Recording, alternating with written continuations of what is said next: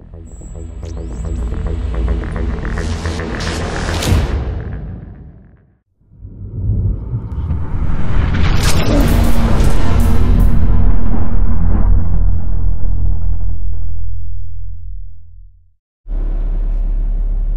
right. Well, hey everybody, Ronnie here. Um, I just got off the phone with Peterbilt, and I would love to talk to you about that because Peterbilt called me this time. But uh, before we get to that,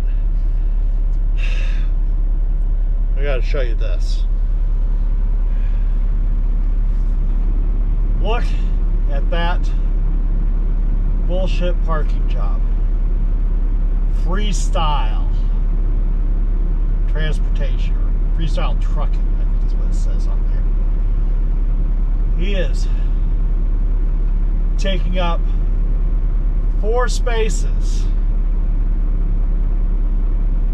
Why? Why? This is ridiculous. I just walked by the fuel pumps, and there's a CR England driver that, uh, I don't know, maybe he's taking a shower. But he was not in his truck before the, uh, the, the, the pumps. When I walked in, I went to the Carl's Jr., I got a burger and some jalapeno poppers walked back out, and he still wasn't in his truck. What is with these people? So, anyhow, here's my story about the lady that called me from Peterbilt. So, the uh, girl from Peterbilt called um, and uh, was asking me about my saga with the uh, uh, with my truck, and then asked me if I if my truck was doing okay now, and I was like, as a matter of fact, no. And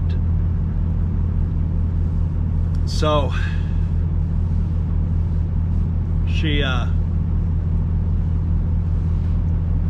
asked me, you know, where's the nearest Peterbilt to me, you know, and that's, of all places, Pasco, Washington, where this whole thing started. And I was like, you know, that's where I've got to go because it's the closest place and I'm going to have to be towed, you know. So, you know, that's where I'll end up tomorrow. Um, I won't be able to get there until tomorrow morning because I'll have to be towed, and they're uh, they're closed already. So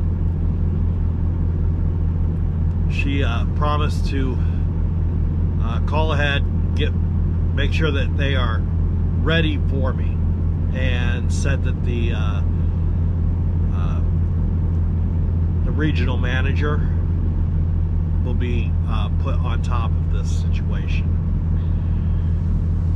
And then told me that, you know, they can't really um, offer to, you know, catch me up on, you know, the income that I, I lost over this.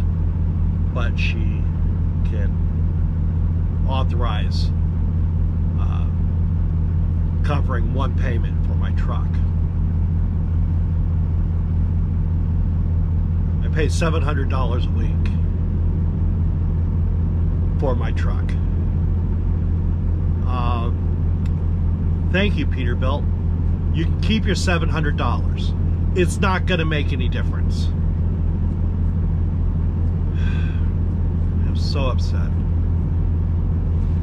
And I'm going back up to Pasco, where they had my truck in the shop for a solid week. Told me four times that it was fixed when it wasn't and then set me out on my fifth time. And it broke within 150 miles. I am so beyond upset. Uh, seriously, my my thought right now is maybe get rid of this truck.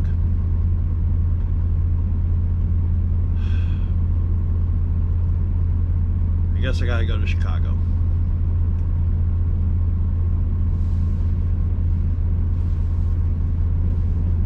You know, I I, I love this truck and unfortunately it's just not taking care of me.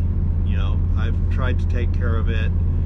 It is not taking care of me and um, you know, it's it's just basically a a, a big hole in the ground that I'm shoveling money into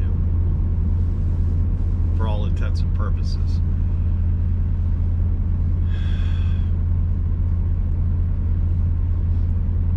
You know,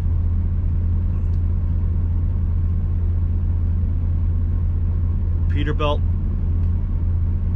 just clearly doesn't want to, you know, actually take care of their customer base. Um, I'm I'm gonna put it out here right now. All right, I I you know as as much as I have um, supported uh, PACCAR in the past, um, I'm gonna suggest when you come to to Super Ego or go anywhere to to do a lease purchase, stay away from the PACCARs okay? Um, it's it's it's not worth it. Uh, thanks for watching.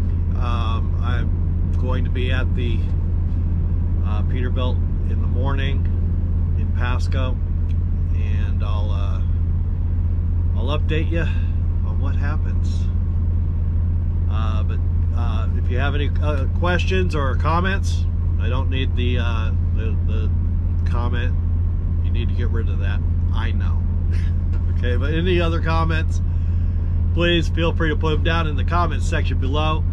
Um, if you want to reach out to me, my phone number is on the screen and I will also put it in the description down below. Thanks for watching and I'll talk to you next time.